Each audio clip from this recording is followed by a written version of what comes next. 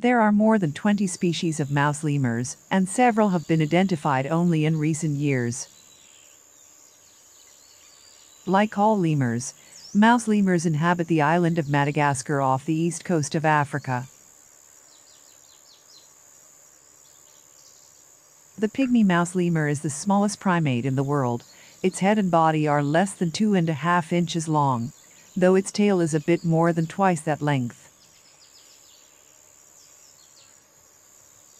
Nocturnal lemurs live in the dry forests of western Madagascar and rarely leave the forest's trees.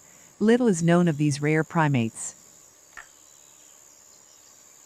They spend most of their time in trees and can move nimbly from branch to branch and tree to tree.